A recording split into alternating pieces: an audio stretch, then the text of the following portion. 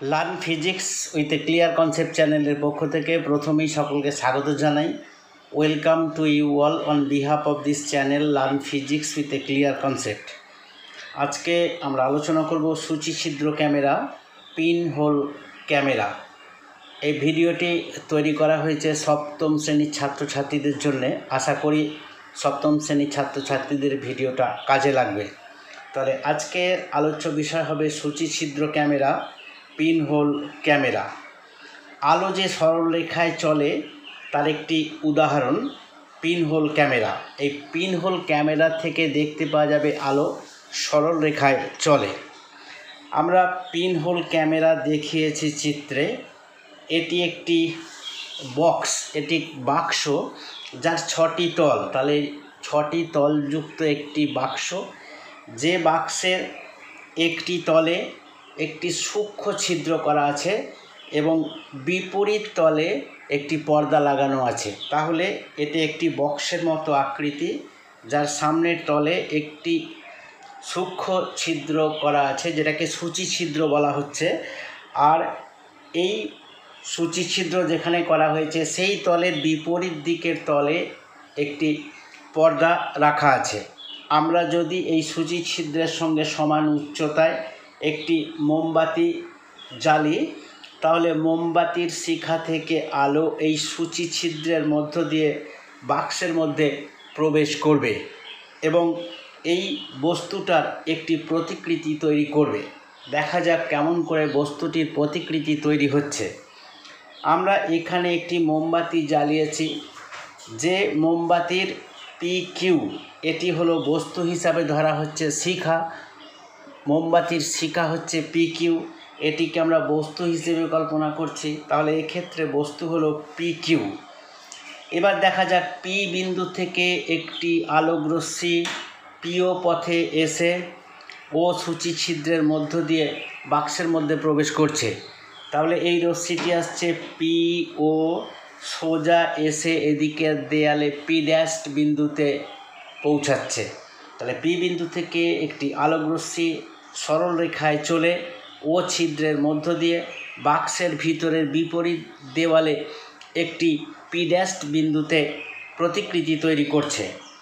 অনুরূপভাবে আমরা যদি কিউ বিন্দুর কথা চিন্তা করি, তাহলে কিউ বিন্দু থেকে নির্গত রশ্মি কিউ ও এটি ও বিন্দু দিয়ে বাক্সের মধ্যে প্রবেশ করছে এবং কিউ ড্যাশ বিন্দুতে পৌঁছাচ্ছে। তাহলে আমরা দেখতে পেলাম পি বিন্দুর প্রতিকৃতি তৈরি হচ্ছে পি ড্যাশ বিন্দুতে এবং কিউ বিন্দুর প্রতিকৃতি তৈরি হচ্ছে কিউ ড্যাশ বিন্দুতে। তাহলে আমরা পি কিউ এটাকে যদি বস্তু ধরি, তাহলে এই বস্তুর প্রতিকৃতি তৈরি হচ্ছে Q dash P dash P Q বস্তু প্রতিকৃতি তৈরি হলো কিউ ড্যাশ পি ড্যাশ এখানে পরিষ্কার বুঝতে পারা যাচ্ছে, এখানে বস্তুর প্রতিকৃতিটি উল্টো হয়েছে। কারণ এখানে পি বিন্দুটা শিখার উপরের অংশ। সেই পি বিন্দু থেকে নির্গত আলো ও ছিদ্রের মধ্য দিয়ে পি ড্যাশ বিন্দুতে পৌঁছাচ্ছে। অর্থাৎ শিখাটির যে অগ্রভাগ, শিখাটির এখানে প্রতিকৃতিতে শিখার অগ্রভাগ নিচের দিকে গঠিত হচ্ছে। আর কিউ বিন্দুতে শিখাটির নিম্নভাগ, এটি কিউ ড্যাশ বিন্দুতে পৌঁছাচ্ছে। অর্থাৎ নিম্নভাগের প্রতিকৃতি উপরে তৈরি হচ্ছে। এইভাবে আমরা পি কিউ বিন্দুর মধ্যে অসংখ্য বিন্দুর কথা কল্পনা করতে পারি। প্রত্যেকটা বিন্দু থেকে আলোক ও বিন্দু দিয়ে প্রবেশ করে পি ড্যাশ কিউ ড্যাশের মধ্যে প্রতিকৃতি তৈরি করছে। তাহলে অ্যাজ এ হোল সামগ্রিকভাবে পি কিউ বস্তুর কিউ ড্যাশ পি ড্যাশ একটি উল্টো প্রতিকৃতি বিপরীত দিকের পর্দাতে গঠিত হচ্ছে। তাহলে আমরা যদি এই পিন হোল ক্যামেরা এটিকে আমরা পিন হোল ক্যামেরা বলছি। এই পিন হোল ক্যামেরার সামনে যে ছিদ্র আছে, সেই ছিদ্রের সঙ্গে সমান উচ্চতায় যদি আমরা একটা শিখাকে স্থাপন করি, এখানে আমরা একটা মোমবাতি জেলে শিখাটিকে স্থাপন করেছি। তাহলে এই শিখা থেকে নির্গত রশ্মি ও ছিদ্রের মধ্য দিয়ে গিয়ে বিপরীত দিকের দেওয়ালে একটি উল্টো প্রতিকৃতি কিউ ড্যাশ পি ড্যাশ গঠিত হচ্ছে। অর্থাৎ এখানে পিকিউ বস্তুটির যে প্রতিকৃতি তৈরি হয়েছে, সেটি হয়েছে অবশীর্ষ, অর্থাৎ মাথাটি নিচের দিকে। তাহলে এক্ষেত্রে পরিষ্কারভাবে বোঝা গেল পি ও পি ড্যাস্ট এটি একটি সরলরৈখিক পথ। কিউ ও কিউ ড্যাস্ট এটিও একটি সরলরৈখিক পথ। তাহলে আলো যেহেতু সরল রেখায় চলে, তাই পি বিন্দুর প্রতিকৃতি পি ড্যাশ বিন্দুতে তৈরি হচ্ছে এবং কিউ বিন্দুর প্রতিকৃতি কিউ ড্যাশ বিন্দুতে তৈরি হচ্ছে। তাহলে এটাকে আমরা বলব পিনহোল ক্যামেরা। আমরা যে ক্যামেরা ব্যবহার করি, আগেকার যে ক্যামেরা ব্যবহার করা হতো, ফিল্ম দেওয়া ক্যামেরা, তার গঠনটা এই রকমই সেই ক্যামেরার মধ্যে একটি ছিদ্র থাকে। সেই ছিদ্র থেকে আলো নির্গত হয়ে এখানে যে পর্দা, এই পর্দাতে ফিল্মের উপরে বস্তুর একটা প্রতিকৃতি গঠিত হয়। তাহলে এখানে উল্লেখ করা যেতে পারে, এখানে পি কিউ বস্তুর প্রতিকৃতি কিউ ড্যাশ পি ড্যাশ তৈরি হচ্ছে, এটা কখনোই প্রতিবিম্ব নয়।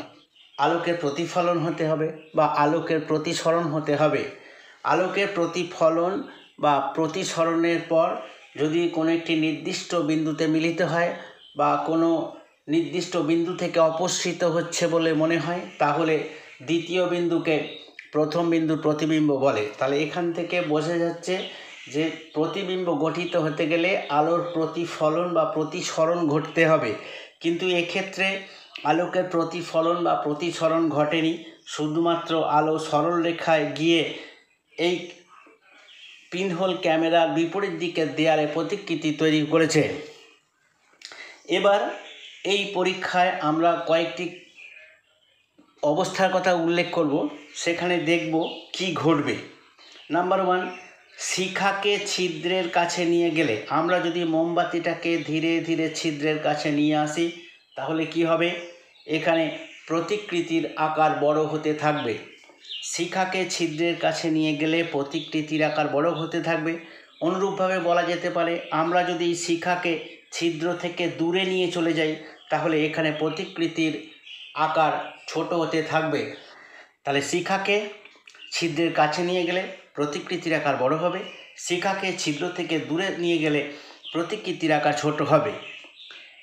ছিদ্র থেকে পর্দার দূরত্ব বাড়ালে আমরা যদি এটা ছিদ্র, ও ছিদ্র ও ছিদ্র থেকে যদি এই পর্দার দূরত্ব বাড়াই, তাহলে প্রতিকৃতির আকার বাড়বে।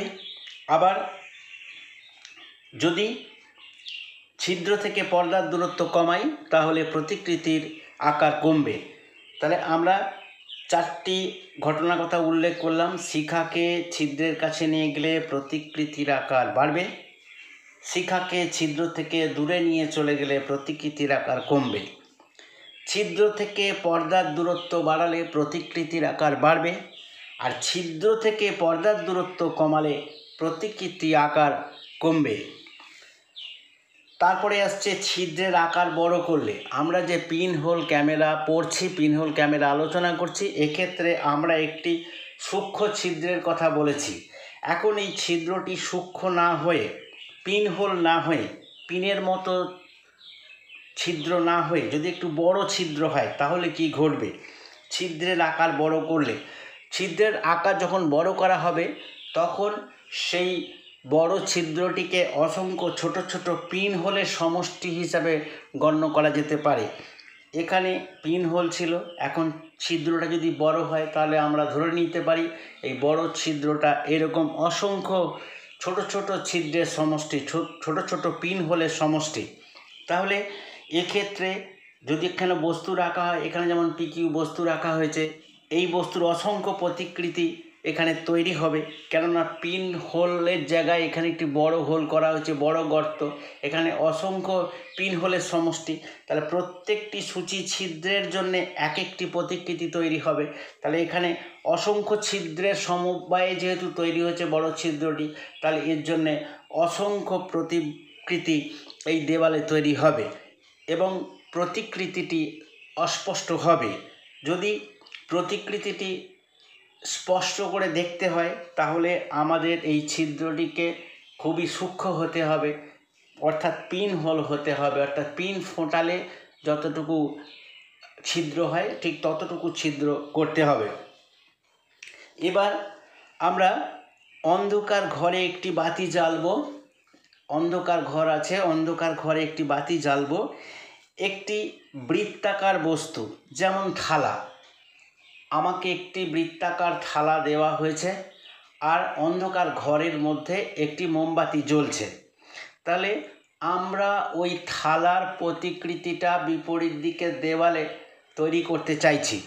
তাহলে কোন ক্ষেত্রে এই তিন রকমের প্রতিকৃতি তৈরি হবে? সম্পূর্ণ বৃত্তাকার প্রতিকৃতি পেতে গেলে থালাটিকে সরাসরি শিখার সামনে রাখতে হবে। তাহলে ওই থালার পিছন দিকে দেওয়ালে একটি সম্পূর্ণ বৃত্তাকার প্রতিকৃতি তৈরি হবে। লম্বাটে গোল সরাসরি সামনের দিকে না রেখে আমরা যদি থালাটাকে একটু কোণ করে রাখি, তাহলে এক্ষেত্রে যে প্রতিকৃতি তৈরি হবে, সেটি হবে লম্বাটে গোল আর যদি থালাটিকে ওই শিখার সাথে যদি আমরা একই সমান্তরালে রাখি, যদি শিখার যে সরলরেখায় অবস্থান করছে। যদি সেই সরলরেখার সঙ্গে সমান্তরালে যদি আমরা থালাটিকে রাখি, তাহলে কি হবে?